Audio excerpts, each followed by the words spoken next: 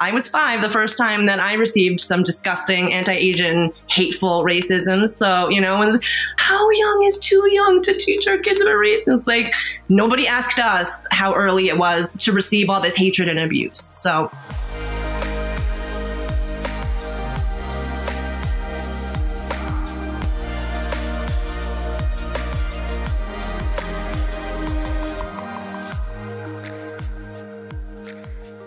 Thank you for joining us for another episode of On the Whorizon, a podcast about what's on the whorizon for sex workers and how to navigate it.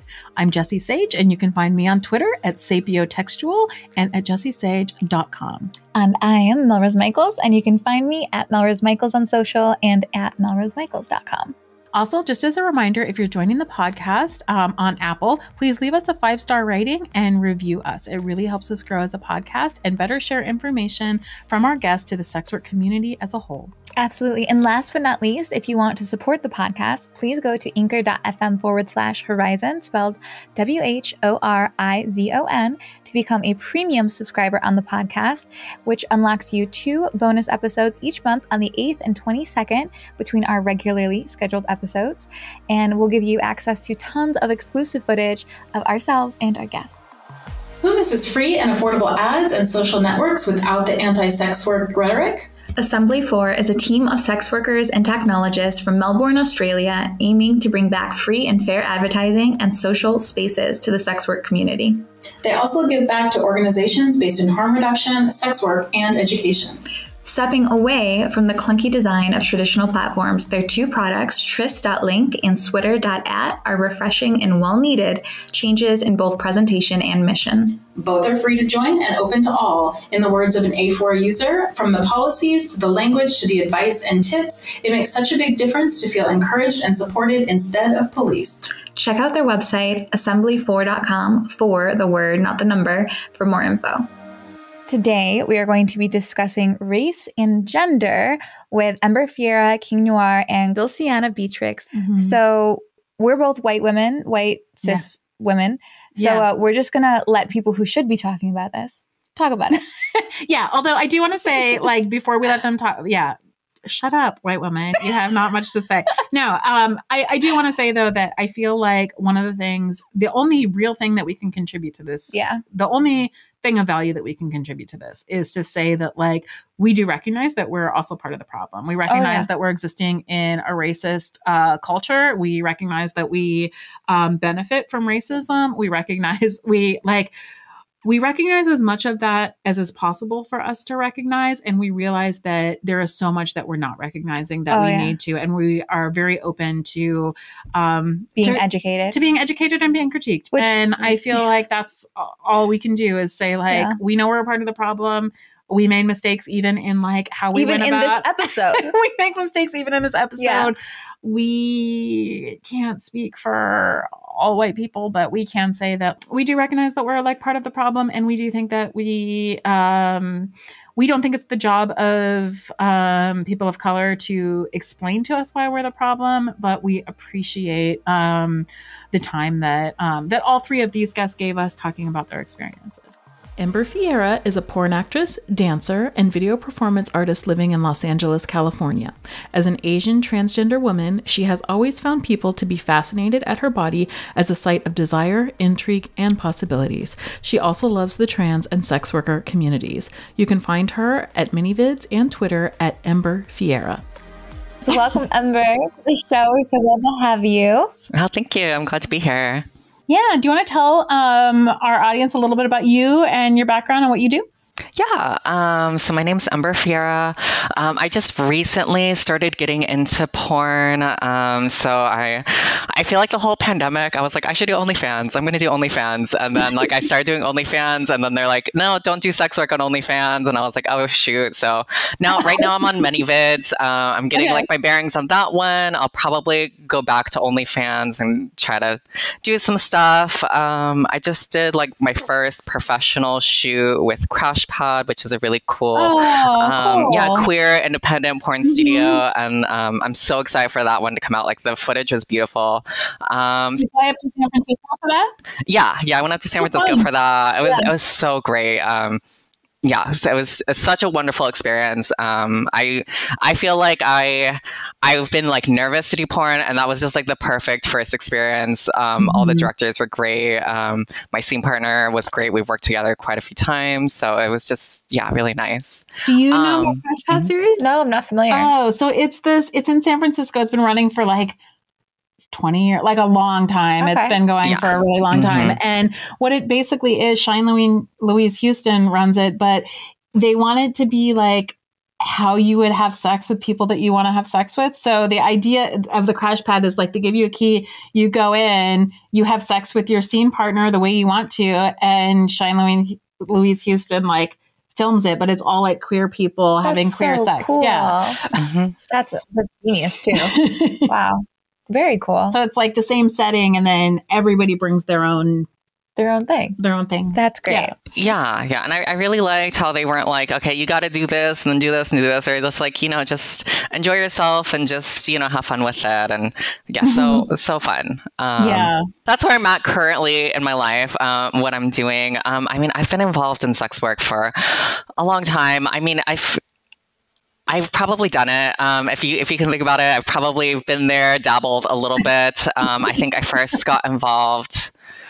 I mean, I, I, would say I first got involved, like kind of sugary. I, you know, I had like a YouTube mm-hmm. channel, and I was like, "Hi, I'm trans," and this was like before there was like a lot of trans people not that there's like a lot of mm-hmm. trans people online, but I was like really like one of the first on YouTube. Mm-hmm. And wow, really? That's yeah, I mean, I, I, am not to show my age, but it's yeah, I've been around. I've been around. so, um, yeah, so I, that you know that was that was interesting. Um, and then you know people started giving me money, and then I was like, oh, I, I guess this was like sugaring, I guess. Um, and then I started uh, dancing. I uh, was like an exotic dancer, or I, I guess that was the term I was using. I don't know if I really still still like that term anymore, but um, yeah, I was a stripper. I was a stripper, and uh, um, that was um, I, I loved that. Um, I love dancing, um, so I, I really loved that um, yeah and then i just i've done different types of sex work it's allowed me to like travel it's allowed me to um, yeah. be independent. Um, honestly, I keep trying to like get like a nice civvy job, and like I tried. I'm like, oh, this is horrible. This this sucks. it's like you know, I mean, st- I, I would love stability in my life. Like that's the one thing I would say. Like I, re- I really just don't have. You know, it's like I don't I don't know what I'm doing next month. It's hard for me to like plan. Mm-hmm. You know, yeah. whatever is going on, but it's like I don't know, just Civi job it can be so so crushing and just so like you know not not just you know they just suck period right? But then also you know being trans like also being Asian like also like it's just like sometimes I'm just like a so mad and you can't say anything, you know, and you, yeah. and you don't get to leave, you know, and you're just like, ugh, and then it's like, this is just a minimum wage. Like, why am I doing this? Like, uh, yeah. so.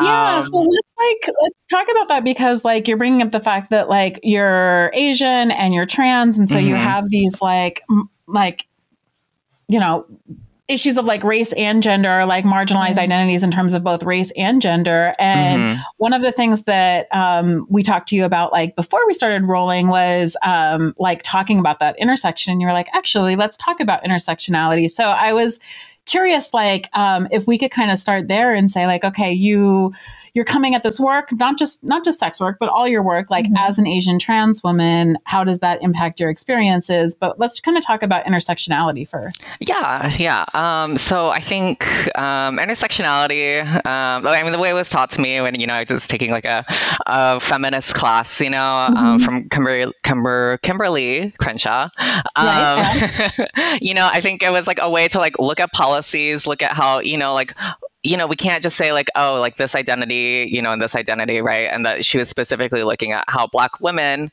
you know, the mm-hmm. intersection between those two identities, you know, you can't yeah. just help black people, you know, or just black men, and you can't just help women that you have to be like, oh, we have to look at you know people falling in between both of those cracks right. um, and I, you know, I think it makes a lot of sense, you know, when we're looking at policies, we're discussing that, like we have to keep talking about the intersectionality. And then I think I see, you know, when we look at our movements, you know, I think we see like you know a lot of like oh this is the sex worker movement oh this is the trans movement right and I think that intersectionality gave us like a really good opportunity to like look inside of our own movements and to be like oh like how are we um, what is it like reproducing systems of oppressions like within our own movements you know and i think it's like you know a lot of the times that the the most privileged people at the top of these movements are not in community with you know the people at the bottom right? I'm not in community with caitlyn jenner.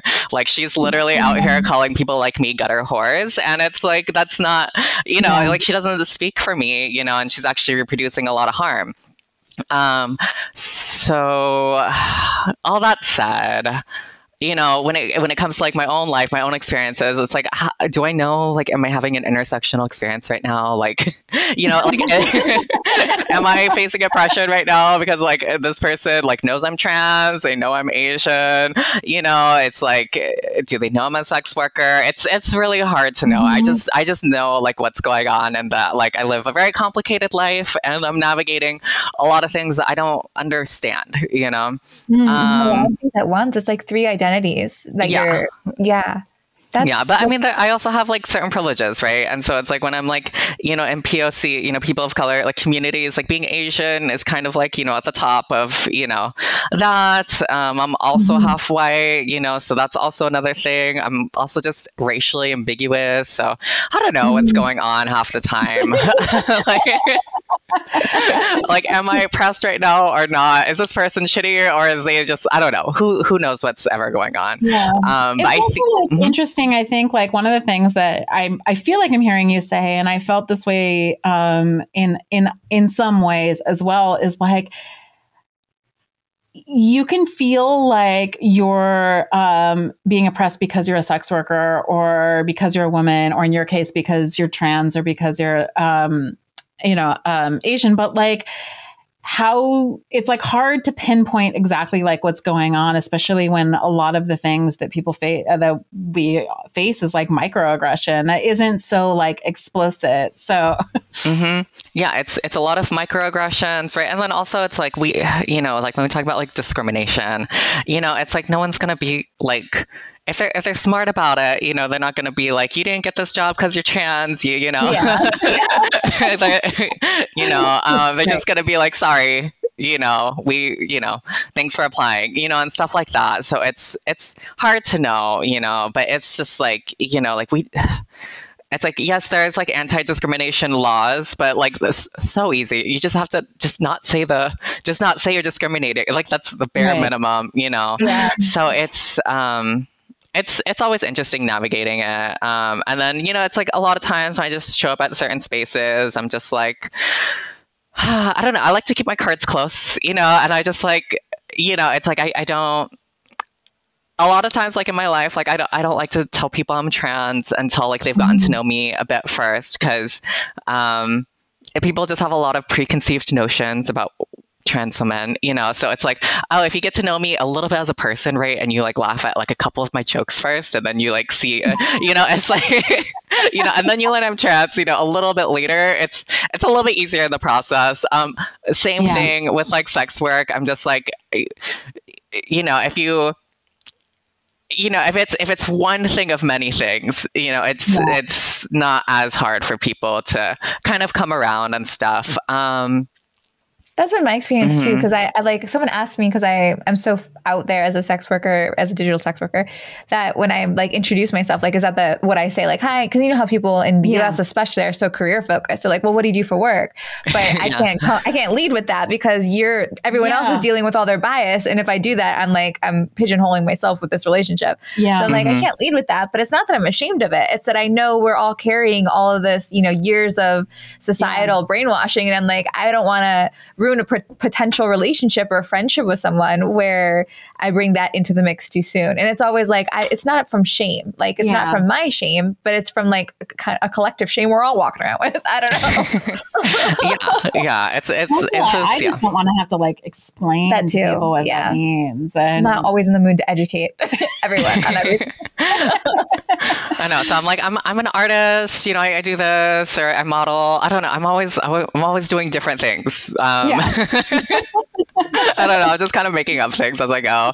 Um, but they're Mhm. true, but they don't. They're not helpful. Like, because I'll be like, "Oh, I'm a writer," and they're like, "What do you write about?" And I'm like, "Oh, fuck." Never mind. That was a bad cover. I'm an Yeah. accountant.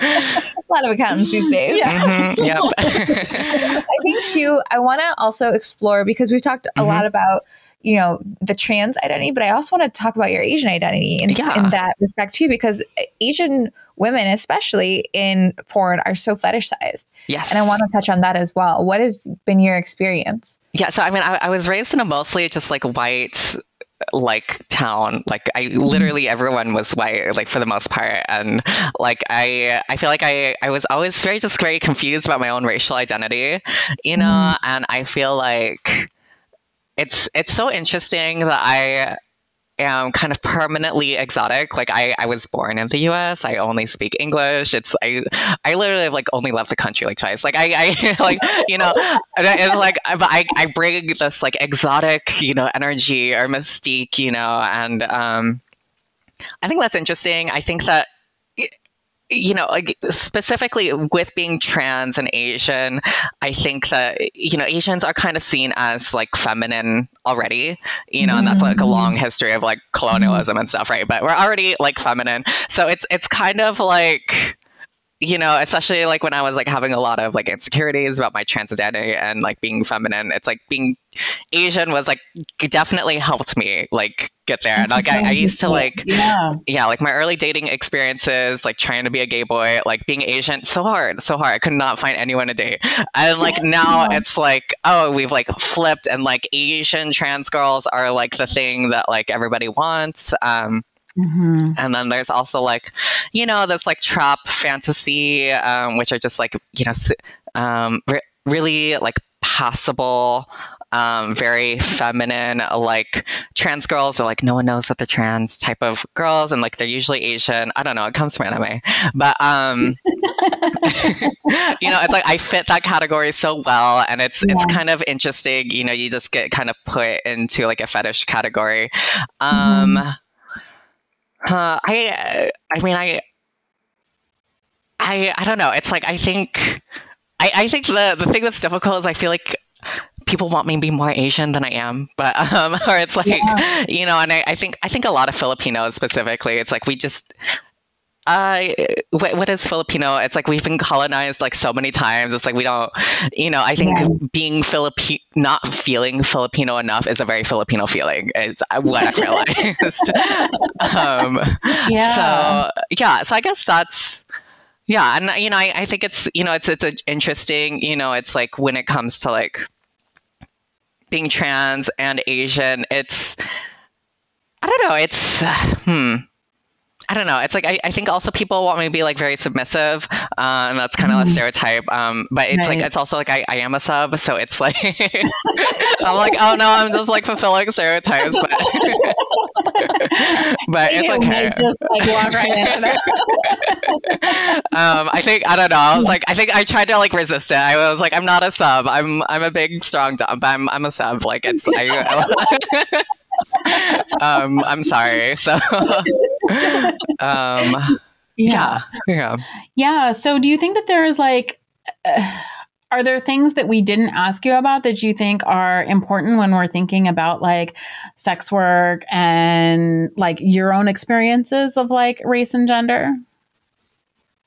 You know, I just I, I love sex workers like so much, um, and I I think that you know out of like a lot of like the organizing communities. I've seen, I think that sex worker I feel like sex workers are so used to being excluded from like so many things you know um in ways that we can't help. So i, I feel like it's it's kind of easy for us to like look at our own community and try to like you know like not do that. Um Yeah.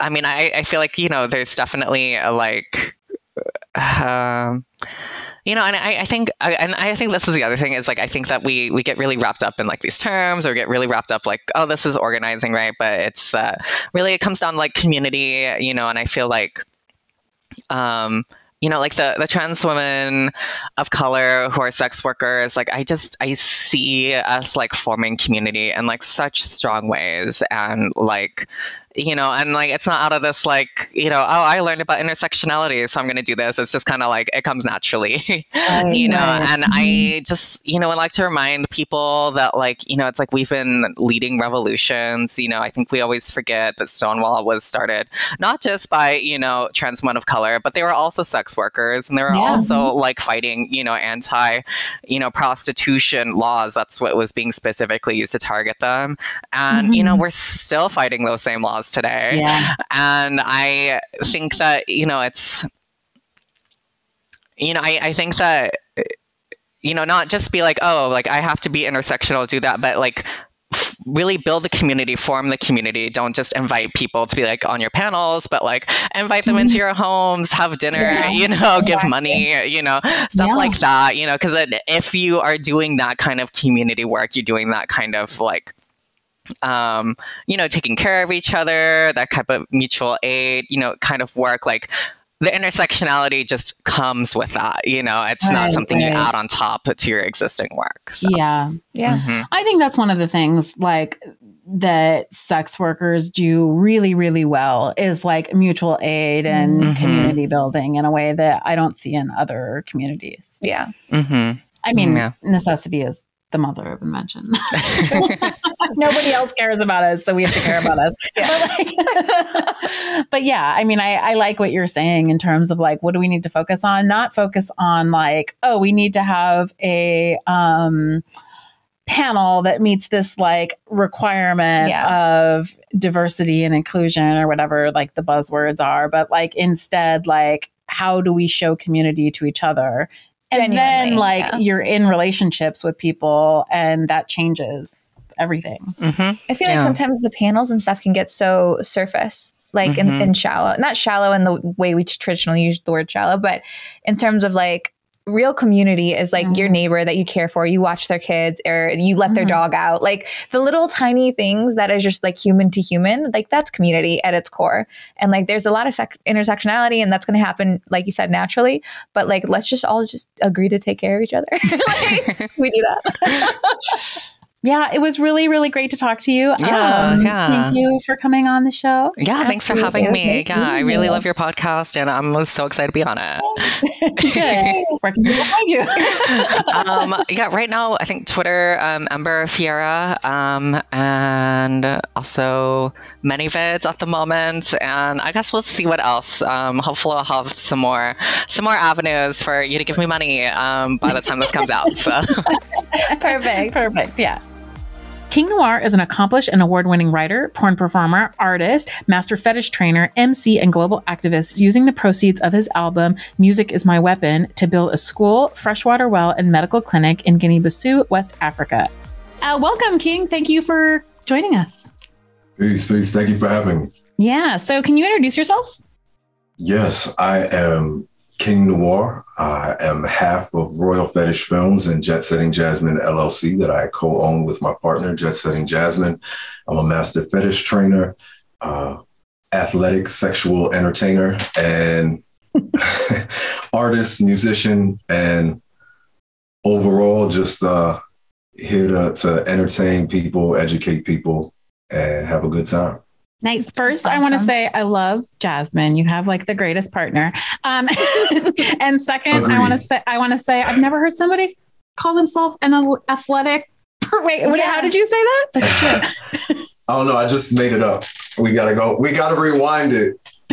uh, no, I mean, I, I do think uh, a lot of people overlook the fact that uh, whether it's porn or you know, in person sex work or stripping or just run down the list of what we do.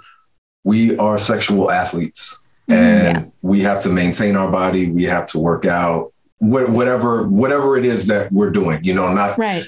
Uh, you know, if you're somebody who swallows swords, so to speak, you have to work out your throat. You know what I mean? Yeah. If you're going to be climbing on the pole, if you're going to be, uh, whatever it is that you do, we, we have to be sexual athletes, and I, I think we should be appreciated as such. Yeah, so I mean, we wanted to talk to you. There's not, um, there's obviously not as many men in the industry as yeah. there are women. So we want to talk to you about your experience as like a male performer, but and oh, sure. and then also a little bit about like um, rate your experience of like racism in the industry. Um, so let me actually just start about like being a man in the industry and what that's been like for you and how you kind of got into it.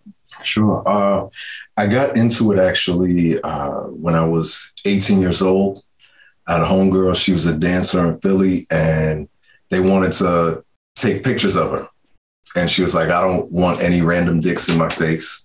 Mm-hmm. She knew that, you know, uh, I needed work. We had already like we messed around. She knew I was an exhibitionist and all that stuff. And she was like, "Yo, you looking for work? Come get paid." And that experience was great.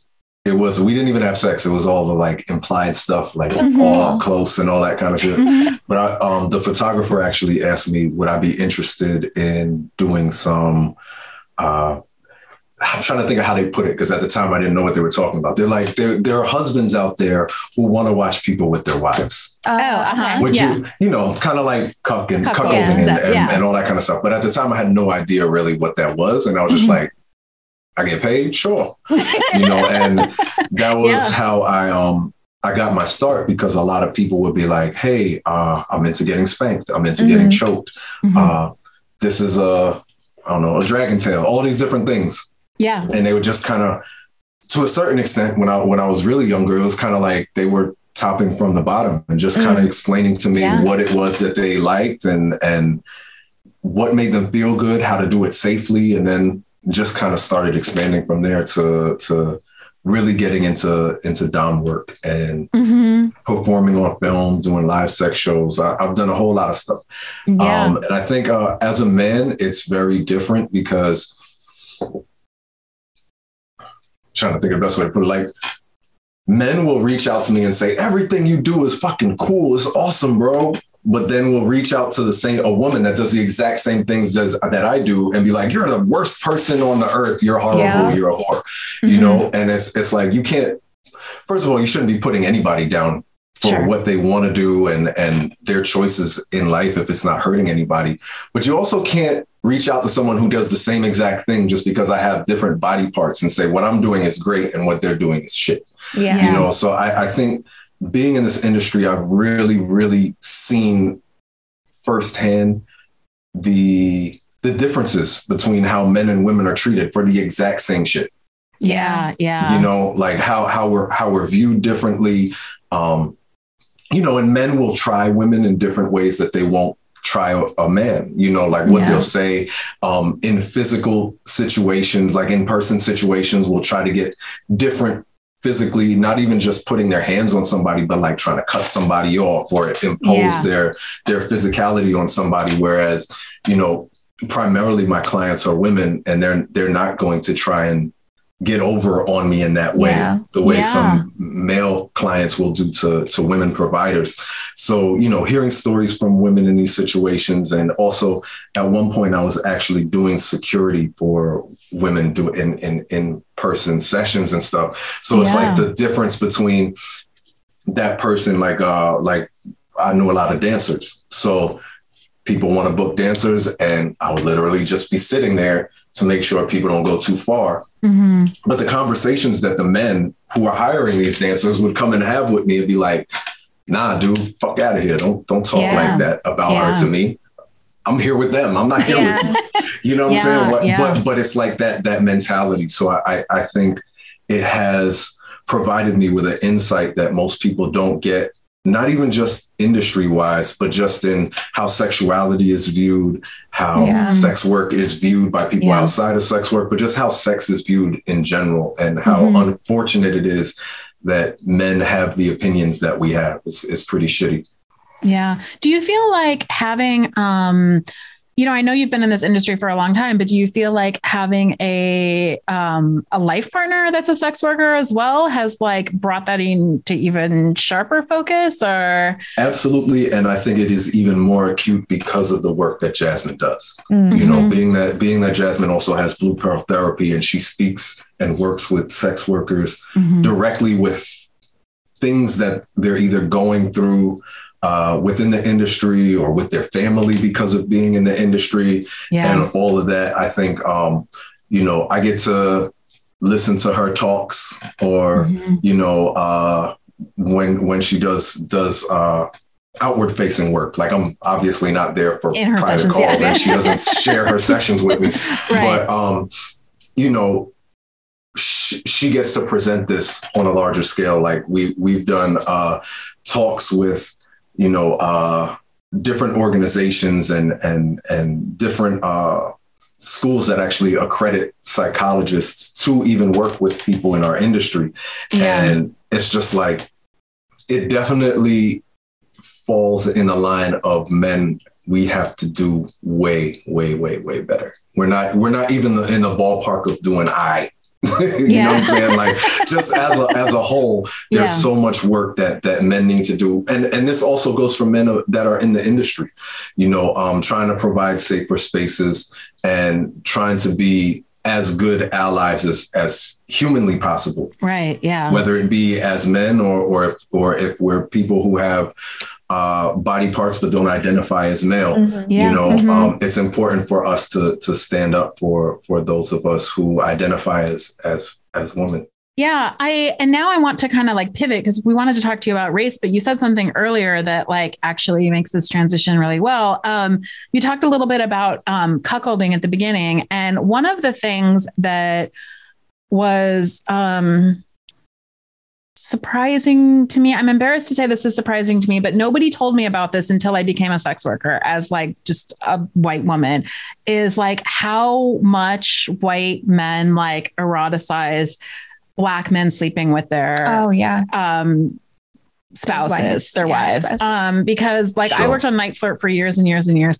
I would say that that's the biggest uh Request. request. Yeah, hundred percent Um, of my cuckolding is that scenario. hundred and percent. And I'm wondering if you like want to speak to that, like, and how you feel about how you feel about that, um, about the way that white men um, eroticize black men um, in that way, and what how that's played out in your work. Sure. Um, definitely, you know, when I got started, I was a survival sex worker. Mhm, So, you know, I was I was definitely hired for all kinds of stuff like that, but mhm. I was raised to never let anybody call me certain words or Yeah. reference me in a certain way. Mhm. So there were definitely incidents where I'd be like, don't ever talk to me like that, or I gotta leave, or, Mhm. you know, I- I'm not gonna say anything that's gonna incriminate. Yeah, yeah, sure. but like, you know, I don't, I don't, I don't play that shit, you know? Mhm, yeah. Um, and then, you know, as I've learned more through the industry, for example, like Queen of Spades Yeah, is like the most racist shit yeah, but it's it's presented in a way that's like no it's somehow empowering what but is it's the Queen not. of Spades? um queen of spades is a thing with white women where they say that they only have sex with black men or they're owned by black men sexually Mhm. and a lot of times they have white husbands, yeah and those husbands and, are like in cut cages or whatever. Okay. and the thing is though calling black people a spade is an incredibly uh derogatory racial epithet okay. going back to, to the early 1900s. Um, and I think all of these things are rooted in the same place. So uh, if you go back in American history to slavery, a lot of people they think slavery is presented in in history books and, and in television through a very narrow scope usually because the people who produce the films, the people who direct the films don't want to really upset white people too tough. Yeah. Um, it's kind of like this whole argument with critical race theory where people I, I, it's a whole other thing but Yeah. really if you don't want if you don't want true history taught the people who don't want it taught is because they're ashamed of how fucked up Yeah. the history is Right, absolutely. Um, yeah. so the the racial the the idea of black super potent sexuality Mhm. comes from a couple of places in our history. One, from the fact that white men would rape everybody. White men Mhm, would yeah. rape black women on the plantation.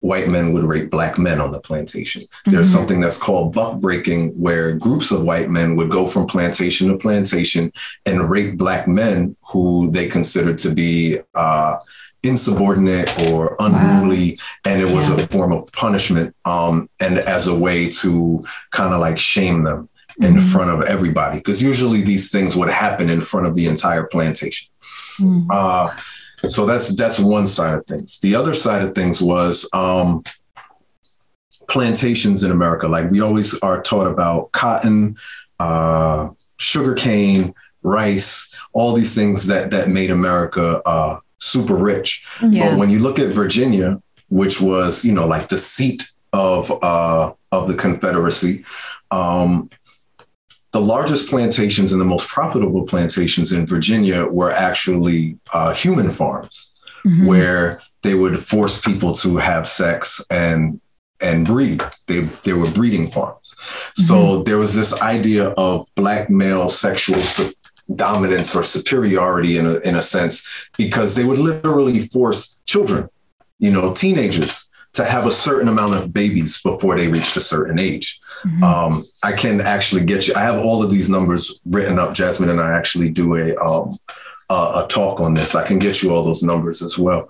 Um, but so because of that, you know, a lot of the uh, like when you think of a lot of these stereotypes of Black people sexually, they derive from forced actions right. like forced and when i say forced i mean forced like they would kill you or if you were a man and you didn't produce a certain amount or a boy at that age Yeah. um, and didn't produce a certain amount of children you'd be castrated Wow. I, um, this if is you all were a, like a lesson for me because wow. if you were if you were a young girl and you didn't produce a certain amount of children by a certain age you would uh, be forced off of that breeding farm to whatever kinds of extreme manual labor in the rice plantation or the cotton field or, or sugar plantation depending on where you lived in the country right They also set up like uh matrilineal like servitude statues too, so that like whatever whoever the whatever the race of the mother is, like that's the um status of carry. like the kids, because the idea was then like the white men weren't responsible for like For their- raping all yeah. of the yeah. well in, in america they also had the 116th um, If you had one sixteenth black blood, then you were considered black in America, which is why, like, when you go to other places in the country, if you're mixed, I mean, um, other places in the world, if you're mixed, they consider you like mixed or this or that or the other. But in America, you're still considered black. Mhm. Um, another place that it came from was because of the amount of rape that white men, and it isn't just plantation owners, it wasn't just overseers, white men, period, yeah. would just rape black people. Mhm. You know what I'm saying? Like you, there, there, it, it was a power structure that wasn't just owners. Like a lot of people try to make this conversation like, my family didn't own slaves, so we had nothing to do with it. No, it was a complete power structure that was based on race across the board. So the amount of white men, especially that rape black women, there was a fear that like this is going to happen to us at some Yeah. point. Yeah. Because also within the same oppression that was forced upon black people, white men opp- oppressed black, I mean, white men oppressed white women by not allowing white women to be a part of certain power structures as well. So they had to put, you know, like the Southern Belle Yeah. yeah. pedestal. Mm-hmm. So you look at a black man, you talk to a, to a black man, you know, he's going to be killed or whipped, but you're also going to be beaten. Yeah. Mhm. You sleep with a black man, you're ostracized. You're going to receive that scarlet letter. Yeah. Mhm. So that fear um, started really coming out in in American uh, American culture through books like Mandingo, which Yeah. we see now in porn. You know, Oh, like yeah. the labels of Mandingo and things like that. Really, there's a tribe in Africa called Mandinka, but it's a whole different thing, right? Yeah. um, and and just for people listening, black men, just like all men in the world, have big dicks, little dicks, medium dicks, Yeah. fat dicks, skinny dicks, curved dicks, straight dicks. Like it, it ranges, right? But because of that fear of of of retaliation, all these other things kind of come into to people's minds. So, um, like the book Mandingo was about this slave owner that you know had a baby with a black woman on the plantation, and when he left, he was afraid that this slave named, named Mandingo was gonna fuck his wife Mhm. right so that that became like a big thing and then if you think uh, the first ever what's considered a blockbuster film in America was uh, Birth of a Nation. Birth of a Nation was by D.W. Griffith, and basically they made the Ku Klux Klan the heroes, and the bad people in the movie were the freed, freed black folk who were played by white folk in blackface. Mm-hmm. Um, but the reason the Ku Klux Klan was the heroes was to stop them from raping white women. Mm-hmm, uh, yeah. It's the same thing. Fast forward hundreds of years to Trump scaring people and saying Mexicans coming across the border are rapists. Yeah. Mm-hmm. It's it's mm-hmm. like one of those things to like rile yeah. up the people against Frankenstein. Yeah. Mm-hmm. So I think it, it gets played out in porn because there are a lot of taboos that people are like, oh shit, I can make money off of that. Yeah. So it's been played up in porn really heavy since like the 70s and 80s and 90s is like there are very few black performers. But then, you know, primarily the black men would shoot with white women. Mm-hmm. You know, especially especially like in the 80s and 90s where, you know, it was hard for black folk to find black porn that yeah. was just black people. You know what I'm saying? You would have to go and find something called interracial. And even the the labeling mm-hmm. interracial primarily, maybe up until last summer, mm-hmm. interracial meant black man, right. white woman. Right. It didn't matter mm-hmm. if you were Asian, mm-hmm. Latina, Latino, yeah. whatever. Nope. Black man, white woman, because right. of that same fixation mm-hmm on on on it and also you know up until maybe last summer also white women would choose would choose to charge more money to shoot scenes yeah, with black yeah. men mm-hmm. even if all the white men they fuck had bigger dicks that one black man's dick would be perceived as ruining them mm-hmm. you know what i'm saying or like you look at uh companies blacked mm-hmm. what does it mean to be blacked you're yeah. stained, you're soiled. Mm-hmm. Like it's it's a derogatory term that mm-hmm. definitely was around before porn, and now it's being profited. Um, it's it's being used for profit, and it's also trying to make it seem as if it's okay and it's mainstream. Yeah, you know, mm-hmm. um, as if it's accepted or acceptable. I, I worked with somebody. Well, one of the agencies that I was on, maybe like five or six years ago um, there was a performer, I'm not going to say her name, she's no longer in the industry. Um, we had shot something together mm-hmm. and she directed it. It was super dope, beautiful. but then she signed a contract with Black, and Black said, You cannot release that because we want it to make to make it seem that your first black experience is with black you know what I'm saying? And that's yeah. that's super dehumanizing. Yeah. like yeah. It's, it's very dehumanizing yeah. to go about it that way. Like and you're not a person that she like she has to pretend that you didn't exist and you didn't do anything. Yeah.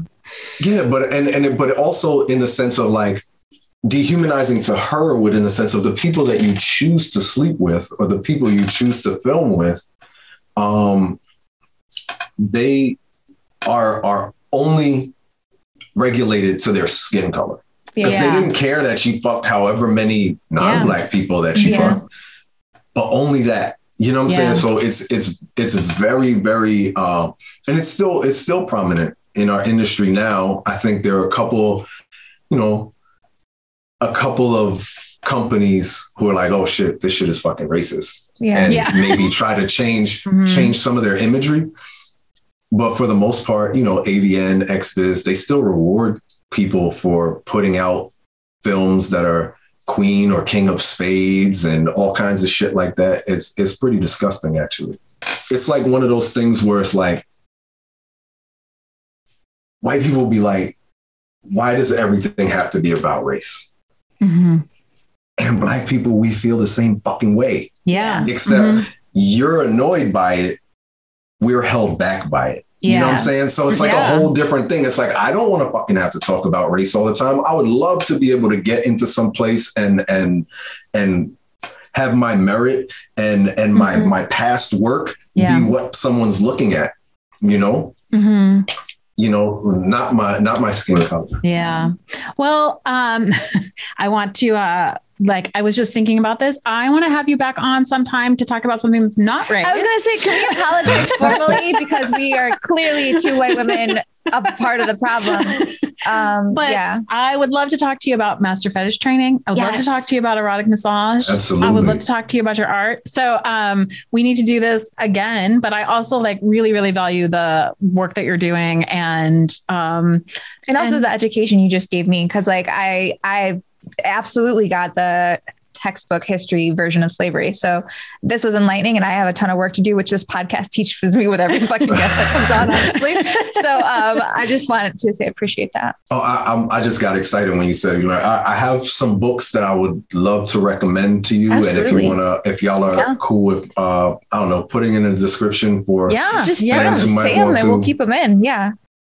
this book, um, it's serious. I'm, I'm working my way through it now. It's called The Half Has Never Been Told Slavery and the Making of American Capitalism. And Okay. it Oh, wow. talks, it talks a lot about the, uh, like the breeding plantations that I was Okay. speaking about Mhm. earlier. Um, and it also talks about the fact that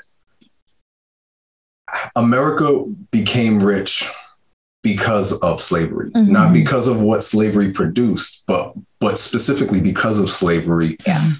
Because at one point, my ancestors were worth more than all of the gold that America had within its possession, Mm. Wow. worth more than the land that we worked. Mhm. So that's that's very important to know because America worked with banks in Europe and took out bonds on people. And those That's were so matched by some of the bonds in like all the old uh yeah. all the old banks from Europe. They might have stopped uh trading slaves, but they were willing to put bonds on on humans. And then the other book is Birthing a Slave, Motherhood and Medicine in the Antebellum South. I think this is a very important book to read as well I've- because Seen that. Uh-huh, because this one also speaks about when when we talk about how black women are treated across the board. This book uh, speaks about a lot of that, like the the mammyisms, the idea that uh, you know black women aren't to be to be treated with with any kind of um, with any kind of respect Mhm. and it also talks about the doctor like modern gynecology was started by a white doctor who experimented on black women Yeah. so um, it talks about that as well so like those two books i, I think directly uh, speak to some of the uh, some of the stereotypes that we do wind up seeing in porn and, and sexuality as a as a whole in america Mhm. We should probably wrap up, but is there anything that we didn't talk about that you would love to get across in this interview or things that you're plugging or anything? Yeah, for sure. I, I would like to wrap up by saying everybody is beautiful and our cultures and our differences are things that we can find attractive in people, but should Mhm. not be fetishized. Mhm. If, if, if that makes sense, like, you know, we, we all have things that make us individuals, whether it's, you know, from the food we eat to the way we dance to the way we move to the way we talk. All these Mhm. things are beautiful things and they should be shared amongst one another. You know what i'm saying? Like it- it's a beautiful thing. Um, but don't fetishize somebody only for that. Learn about who they are as an individual and a person and that makes them even sexier Mhm. um, besides that, please go to royalfetishxxx.com, kingnoirxxx.com, and bust all kinds of nuts and, and rub one out to, to Royal Fetish and all the amazing sex that we have. That's, awesome. That's great. You want to uh, see your socials as well? Yes, yes. Um, I'm shadow banned on everything, but you can find me at K I N G N O I R E on Twitter, The Real King Noire on Instagram, and yeah, hit me up and and enjoy what we do. And I would love to come back and talk about all the other things as well. And but I do abre- appreciate y'all uh, having me on for this topic. I know it's not an easy one, but it's definitely a. a Well, a needed I one. appreciate you wanting to come on and talk about it with us. Yeah. And next time, kink and massage. Yeah. Sounds more fun. Dulciana Beatrix is an erotic multimedia artist, dominatrix, and Zen Buddhist monastic. She has been a sex worker since 2015. Welcome. Um, can you introduce yourself to our audience? We're really happy to talk to you today. Okay, so um, I am I'm a religious worker. Uh, I am a Zen Buddhist nun. Uh, I was a monastic living in the mountains for eight years, and my work uh, in sex work and also in creating erotic art is heavily influenced by that. It's heavily influenced by my Japanese culture and my upbringing. Um, my experience as a Zen Buddhist nun in a really formal uh, and strict and intense Japanese environment. Um, I started when I was in my early 20s. Mm-hmm. Um, and it's interesting because when I started. So you spent, I don't mean to interrupt you, but you spent most yeah. of your 20s in a monastery. Yeah. Yes, yes, eight oh, years so from wild. like from yeah. 24 to 31 or 32. Yeah. Wow. Um, and um, so all my life, because I'm half Japanese and half white, Greek Ukrainian white. Mm-hmm. So um, I always felt this kind of um, cultural identity crisis, I call it. Mm-hmm. Um, my in my home and in my upbringing like the greco-ukrainian sides were there there was that influence but um, in terms of um, the, just the largest presence, obviously, was Japanese from my mm-hmm. mother, from like her cooking, from her being connected to our relatives in Japan, from watching Japanese TV shows all the time, um, and exposing me as a kid. I mean, through we did we took trips to Japan. Um, me they sent me to Princeton to learn a language for three oh, years wow. um, as like a you know um, I, I, guess I was like in my early teens. It was like an extracurricular kind of thing. Like Princeton had this special, you know, program. Yeah. Um, I did that, and um, so uh, the influence on my life is huge there's good aspects and bad aspects to it. Um, there is no governing body of Buddhism like the Vatican or whatever. Yeah, yeah, right. um, and that means, and also in Asia, there's so many different sects and so many different styles. So there's yeah. Zen in Japan, but there's also like Vietnamese style. There's, you know, in, and mm-hmm. the way Buddhist practice looks uh, and, and is, um, lived out um, culturally um, in Southeast Asia versus China versus Japan, it looks so different. What I'm trying to say is, you know, if you've seen the documentary on Netflix, The Wild Wild Country, about the Rajneeshis, they're also um, their teachers called. I know about them. Yeah, it's like when you have this teacher and that teacher from this tradition and that tradition, and there's no um, group that's really or system of checks and balances yeah. and this mm-hmm. is in the 1960s 1970s and it, free love and whatever right. mm-hmm. there's gonna be sexual misconduct there's gonna be all kinds of mess happening how did you i'm curious because i'm not as familiar with you and i'm uh, some of our listeners won't be as well how did you end up leaving that life and get, getting involved in sex work um, long story short is I got knocked up. I, yeah. Um, and it, it was also a, a, kind of a weird thing because like we had been transitioning out of one era of like really bad secretive sexual misconduct. Okay. And we were under new leadership and there's a new teacher and it's like there's a new era of transparency. And so while I was there, my relationship was kind of held up as like a pillar of mm-hmm. like transparent like this is an example of what a good relationship can be that can happen yeah. here because we were trying to say like, you know, obviously when you say, you know, no fraternization and no sex and no this and no that, like it's gonna happen mm-hmm. anyway. Yeah, yeah, it's yeah. all around. Mm-hmm. Of course, I participated in my share of dalliances. And I had a for me, my rule was just like keep it off the mountain.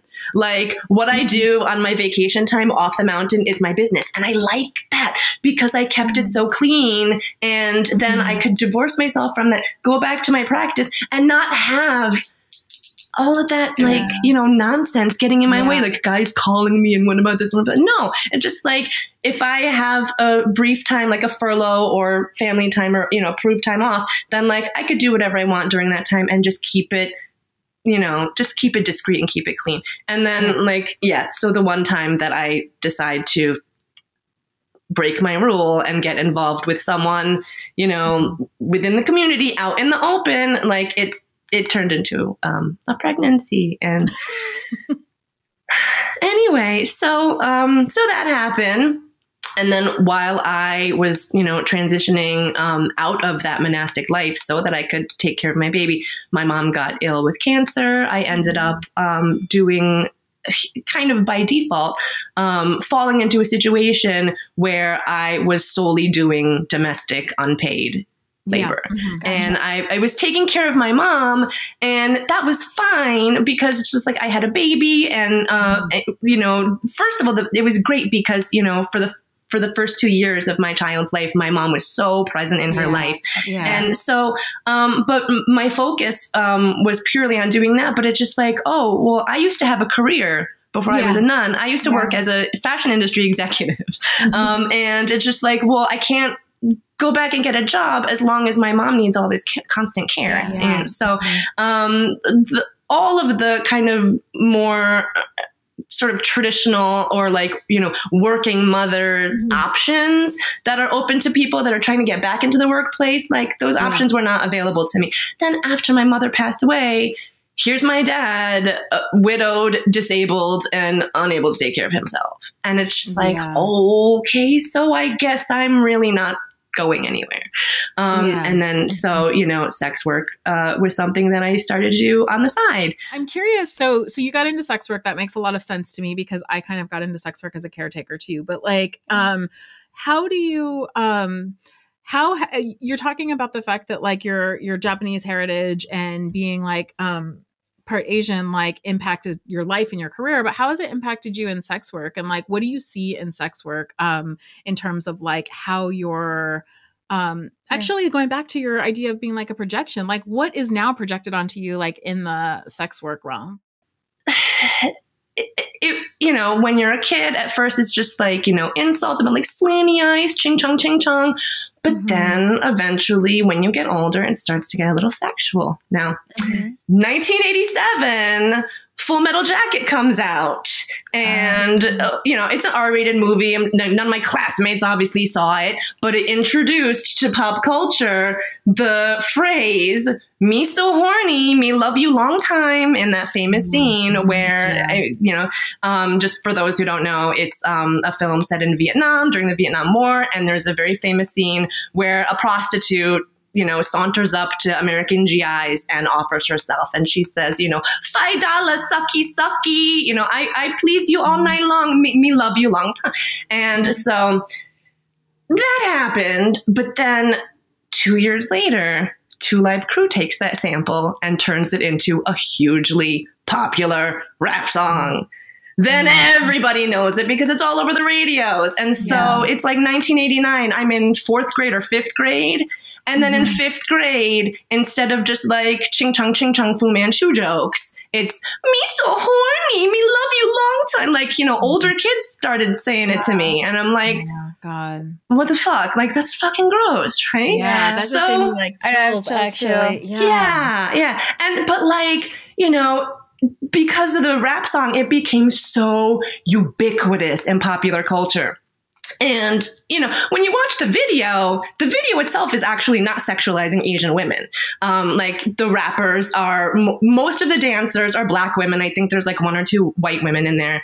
Um, so, like, the video itself and the song itself is not fetishizing Asian women, but it took that scene from Full Metal Jacket, became one of the most popular samples or notorious samples in hip hop of that time.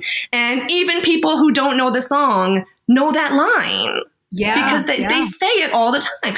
And so, like, finally, when I'm a teenager, it's like I can't walk down the street with someone saying, me so horny. And it's just like, oh my God, oh, right? Yeah. It's like, can you just go back to calling me an egg roll and can we call it a day? Like, you know? Yeah. yeah. and so there's that then when I'm in high school, um, I hear on classic rock radio the David Bowie song China Girl for the first time. Mm-hmm. And uh, wow, uh, it's, it, I felt like I had to take a shower after hearing that song. Um, if you're not familiar with it, I suggest you go look it up on YouTube. It has an awesome accompanying video um, where it's just like there's a lot of sexualization. David Bowie basically has a young Chinese girlfriend who was his girlfriend in real life. She was 23. She was a model. She's from New Zealand. And he actually like set up an apartment in Sydney so that they could see each other all the time. Wow. And it, he, now China Girl was like hot off of Let's Dance. And Let's Dance is also known as a very like anti-racist anthem. The video, like he specifically went out of his way to hire um, indigenous dancers, black dancers, Yeah. and so everyone was like, David Bowie's not racist. He's a good guy. He's making songs that are against racism. And so when you go and you watch China Girl on YouTube, you look under all the comments and they're like, all, all of the comments are just talking about what a great song it is, first of all. Um, and then like, you will have like paragraphs by like white guys defending David Bowie going, well, actually, this song isn't racist. He's critiquing the Orientalism of the area and he's saying that colonialism is bad, actually. And I'm just like, Well, actually. Okay. Eh. The, the thing is, yes, it is true that the song is a critique on colonialism. However, like who authorized the thin white duke to be the educator? Like to, the thing is is like they say oh the way he presented it in the video was too subtle. It went over people's heads is it really that subtle if you're recreating that famous image of a Vietnamese man getting his brains blown out at point blank with a gun, like you know that famous or, or or like Napalm Girl, um, like and also too these are horrific images from Vietnam, and the song is China Girl. Like, come on, can you Yeah, like yeah. tidy it up a little bit. But um, but the thing is, everyone's just like, well, but Bowie's intentions were good. His intentions were good, but the thing is, is like the song is still really sexy. And the video is also really sexy. So even if it's a critique on racism and it's a critique on Orientalism and whatever, it's still like very much like Yeah. yeah, it, and and it, it's it's hard to stomach honestly Yeah, as an asian yeah. woman to watch that it's Mhm. it's uncomfortable and you know so this is the thing uh, you know uh, Do you think you're uh, fetishized more in the civilian world than in your sex work? it's possible that that's true especially now but it's more like um it's weaponized against me as usual like if i reject a client like i there's someone in May that I turned down because I'm not doing person to person work at this time. Um, and like I'm still getting texts saying like you ching chong go like I you caused coronavirus, go eat some bat like horrible, horrible thing. And it's just like yeah. Wow. yeah and, and so i mean there's a lot of i think people fall back on retaliatory violence and so um, i don't think that anyone um, again who is familiar with my work Yeah. um, zeroes in on like, oh, I want like a Japanese geisha or this or that. Um, but um, if I don't act the way that they expect me to act, Yeah. or if I don't provide, you know, the attitude that they expect from me, um, then it quite fre- fre- uh, frequently can devolve into like retaliatory racism. Yeah. I think that what you brought up too about, uh, I, I'm curious how have you seen more of that because of COVID? Like what you mentioned about them bringing like COVID and and coronavirus into that. Has there been a huge uptick in that now because of the circumstance of? I the feel like? I get it all the time. I got it all the time before the pandemic, but I think it, like the pandemic made it an even more popular cheap shot. gotcha. Mhm. Okay, You know, And uh, as in, like, you know, if you're, if I'm walking down the street and someone doesn't have a mask on and I kind of go like, yeah, go like this away from them, then, then they'll be like, fuck you, ching chong COVID. Like, it's like COVID kind of has a, like a morphed or evolved into an anti-Asian slur. So now it's just like, shut up, COVID. Like COVID is just like saying chink. You know what I mean? It's it's you know. Anyway, Yeah, be, but it's it's become a very handy and easy cheap shot that people have in immediate reach. You know. Um, yeah, Yeah, for sure, yeah. for sure. Um, something I wanted to bring up um, while we're talking about like you know fetish- fetishization of Asian culture um, and how it permeates the sex work world. Let's talk about Kim Anami. She is I'm the kung fu vagina lady. She's a white lady, and she is a white lady sexual healer educator. Basically, she like you know is shilling the jade eggs and the yoni exercises and whatever. First of all, her name Anami, Oh like she she she kind of co-opted for herself an Indian name because you know how when like white ladies get their yoga teacher certification, Yeah, yeah. suddenly they're like, I'm a Shanti, and it's like you're Susan. You but, but you know what I mean. And So, so she she's a you know a white lady who gave herself an Indian name, and she just said, I'm a sexual health educator. So one of the things she teaches is like you know basically she gives glorified online Kegel seminars, but she's like. Wow. Namaste. We will put the jade egg in your yoni, and this is kung fu vagina. And so, if she, I, Wow. I, do not know about this. I I'll to send you. I, I'll send you a couple of um, Daily Mail hit pieces on her that I may or may not have tipped off a journalist to. Um, because, well, there was a journalist who was already covering it, and then this Kim Anami woman, she's just like a horrible, grotesque individual. Um, she doubled down on it, and she's Oh, just wow. like, "Oh, me so sorry, me hurt your feelings." Oh, you know what I mean? Like she goes, "You sensitive snowflakes hated my kung fu vagina video. Well, too bad." Eh, And she's just like a Oh my really God. Revolting, vile, ugly Yeah. white lady. And um, but so uh, you know, a, a lot of people really upset by her content, and it's just Yeah. like you know, just as a sexual educator, because the she her kung fu vagina um, vid, it was like a parody music video, and it's Okay. like a takeoff of the song Kung Fu Fighting, and so Yeah. of course it uses that uh, you know stereotypical Chinese musical motif that's like. Do-do-do-do-do-do-do, Right, Yeah. and it's like very, it's gross. And again, you know, she's using, um, she's a white lady, but she has Asian women in her video also that are like, and it's like, oh my god, like it's fucking 2021. Like, why are people still doing this? Um, Yeah. and uh, so, so she got some pushback, and then she just didn't care, and she doubled down on everything, and she's gross, and I want to end her. So, Yeah. we will keep that in. Yes, absolutely. please, please. I think we, we she have to, knows. she knows that I have a vendetta against her. She knows. Like she blocked me on everything. I don't care. I don't care. Like the next time I see her, I'm gonna call up my Daily Mail uh, Connect and be like, "She's at it again." So yeah, mhm. she can come after me. I don't care. Her trolls can come. Come for me, Yeah, Kim. I'm ready.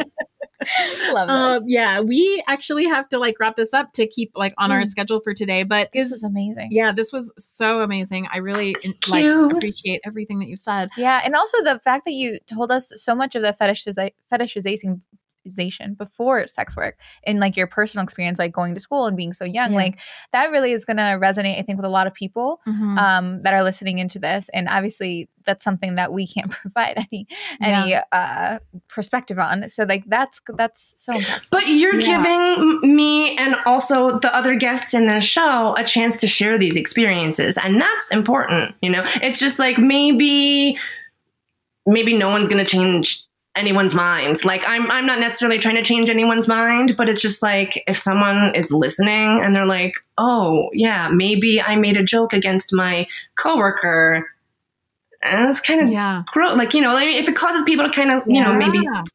Think a little bit deeper yeah. or kind of second guess their behavior. Like, because again, uh, so much of it too, they're microaggressions.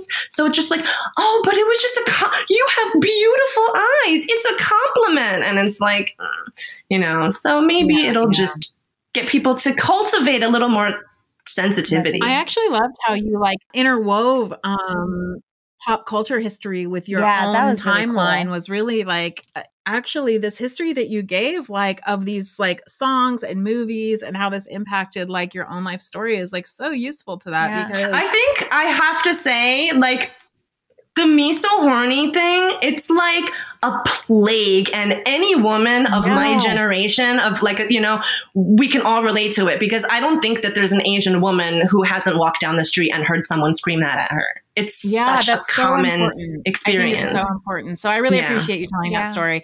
Um, where can people find you and your work? Oh, um, I am. I'm on Twitter. I'm almost always shadow banned, but I am on Twitter at cloisterfuck.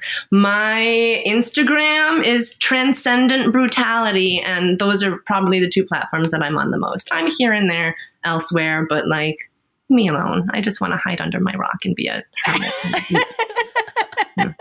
but yeah, just follow me on Twitter where I shoot my mouth off, and uh, on Instagram where I post crazy nail pictures and fetish shit. Yeah, it was really, really good to talk to Yeah, you. thank Thank for you so with us. much. Whew, That was a lot. that was a lot. I just got schooled. Yeah, I know.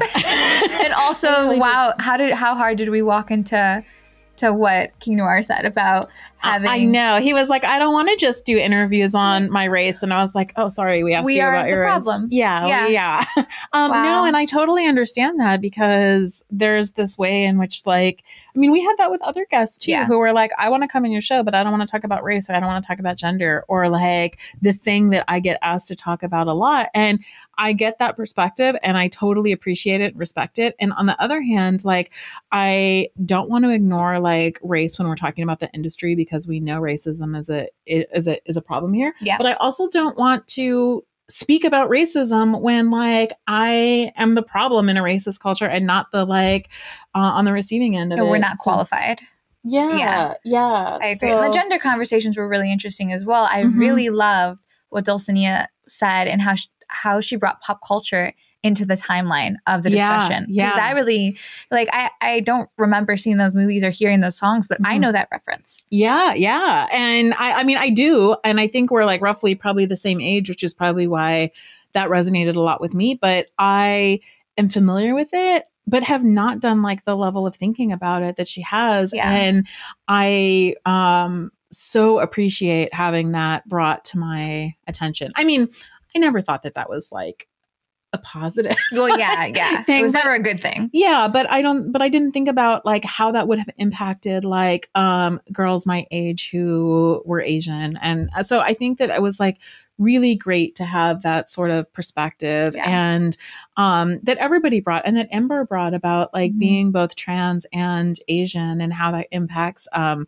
the work that she does and how she's taken up in the industry Yeah, it's it's fascinating and it's it's great to have qualified people on to come and talk about this stuff and also yeah to give our audience maybe some shared perspective that they may or may not have experienced as well. Yeah, yeah. I mean, one of the things that I said to Noire when we were in the interview with him is that as like a phone sex operator, I got hit so often with um um BBC cuckolding fantasies. Um that that's like so much so entrenched in our in our culture and there's so much anxiety around black men from white men that Yes. I did not know about before I got into I mean I maybe knew about it like I knew that that existed Mhm. and when he gave us like a history of like Mandingo I I understand that I know Mhm. like what that is but being in this world and hearing like white men over and over again talk about this anxiety that they have about like black dicks and Mhm. what black men are going to do to their wives and let me first qualify by saying like I actually don't participate in like in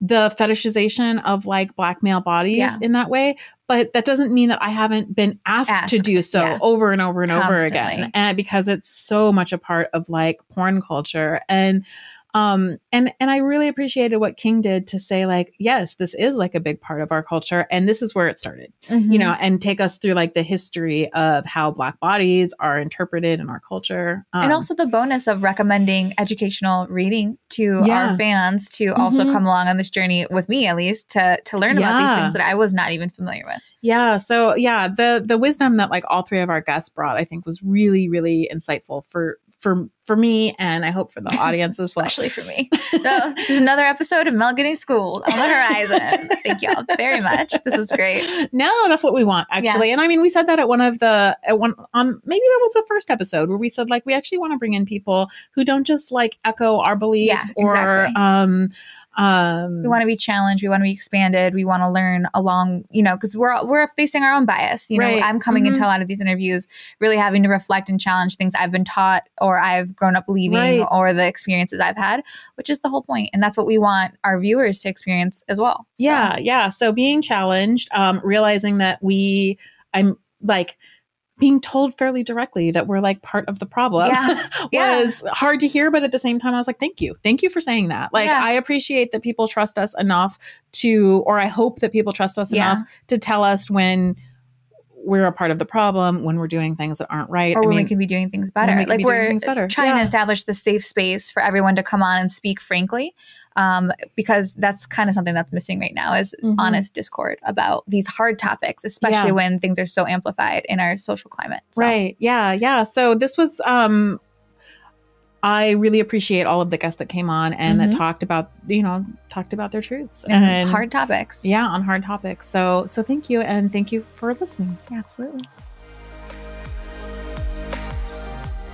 Thank you for joining us for another episode of On the Whorizon, a podcast about what's on the whorizon for sex workers and how to navigate it.